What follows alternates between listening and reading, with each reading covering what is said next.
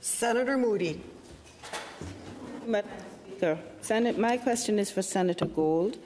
Senator Gold, the legislative review of the Cannabis Act is well underway with the What We Heard report published past October.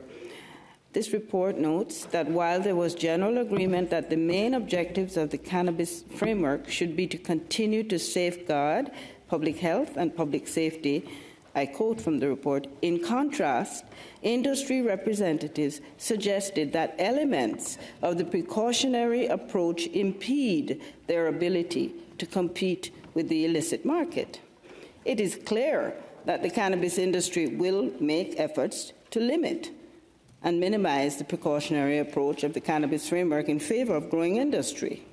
Can you confirm that the government will not liberalize the rules around the sale, production, and marketing of cannabis, and in, in, doing, in so doing, ensure public health and safety. Senator Gold. Well, thank you for your question. I think all of us that participated in the debate on the legalization of cannabis uh, uh, know uh, that concern for public health was at the center of our debates and our deliberations. Indeed, as the sponsor pointed out eloquently throughout that debate, um, the initiative to legalize uh, individual use of cannabis uh, was primarily framed, and properly so, as a health issue.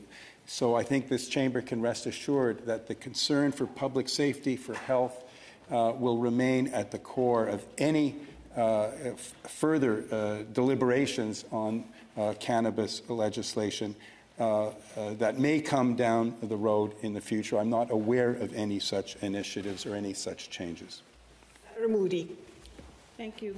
The, I have a follow up question, Senator Gold. The expert panel noted that their engagement with youth had been minimal, and they plan to additional activities by the end of 2023. Can you confirm for us whether this panel has met with more young people and give a description of what these consultations have looked like.